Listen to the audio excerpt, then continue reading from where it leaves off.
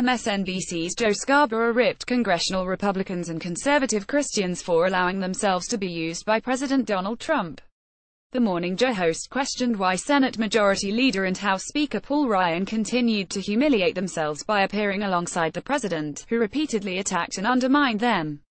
For some reason, for all of their collective wisdom, Mitch McConnell and Paul Ryan have never understood that they are a separate and equal part of the legislative branch, Scarborough said. Conservative commentator Bill Kristol said there was a simple explanation for their acquiescence. They want to get tax cuts, Kristol said. Tax cuts is a huge, shiny bubble that justifies humiliating yourself. MSNBC political analyst Mike Barnicle said the Trump presidency and current GOP majorities were built on duplicity and fraudulence, and Scarborough said the conservative movement no longer stood for anything.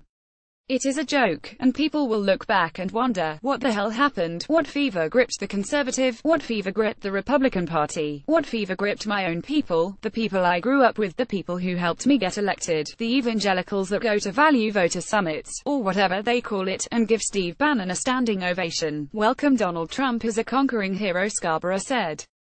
He contrasted the president's words and deeds with the most essential biblical teachings purportedly followed by conservative Christians who cheered Trump at the Values Voter Summit. You look in Matthew and go through the Beatitudes. Every single Beatitude, you go through Jesus' teaching, what he says he wants people to be, Scarborough said.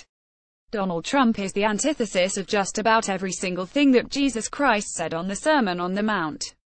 Go read it. None of us are perfect, but he goes out of his way, it seems, to thumb his nose at all conventions, including the basics of the Beatitudes.